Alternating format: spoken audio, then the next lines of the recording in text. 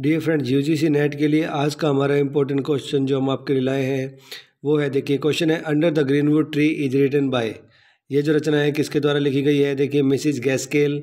Second option है George Eliot. Third option है Thomas Hardy. And last option है Emily Bronte. चार option आपके सामने हैं।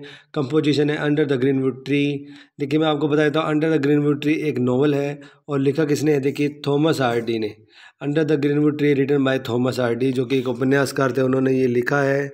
थॉमस आर्डी बहुत ही बड़े एक फ़ेमस उपन्यासकार थे। थॉमस आर्डी ने ये अठारह सौ बहत्तर में इस रचना को लिखा था।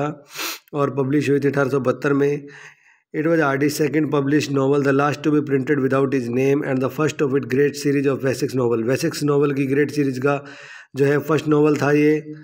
And Hardy second publish novel last to be printed without his name इसके नॉवल के बारे में आपको इस शॉर्टकट में बताया जा रहा है दोस्तों।